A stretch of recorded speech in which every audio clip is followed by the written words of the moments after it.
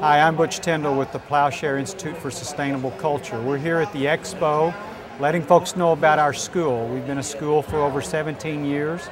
We're located near uh, Elm Mott, Texas, which is in central Texas.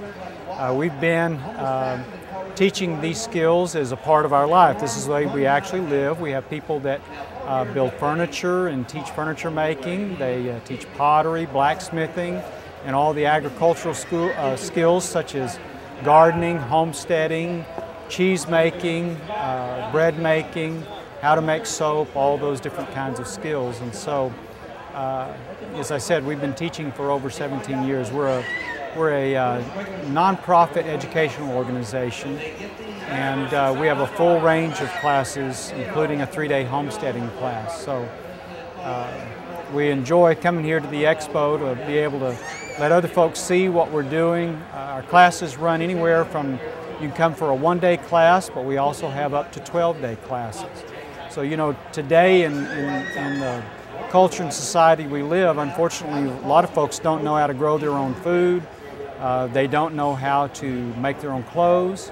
They don't know how to build their own homes. And those are the skills that we teach, the skills that are essential uh, for daily life. You know, how to, how to have your, how to grow your own food. Uh, we've got uh, like our cheese makers are award-winning cheese makers. They also teach. The furniture makers, uh, they actually build furniture for a living and they win awards at that.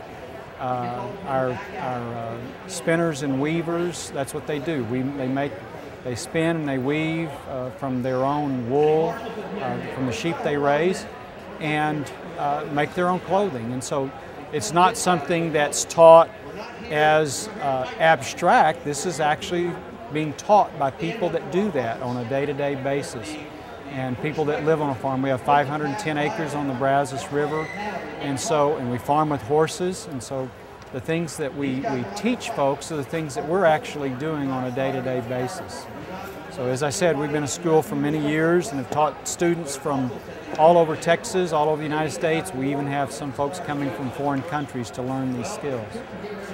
We have a journal uh, that is published quarterly, Sustain Life that is available for subscription. And it also has our website. If you want to know more about us, you can go to www.sustainlife.org.